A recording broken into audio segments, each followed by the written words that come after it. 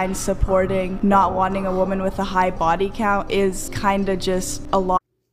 Translation I want a man to accept my promiscuous lifestyle, and I expect a high value man to be at the end of the road when I'm done running the streets. That's what she really means.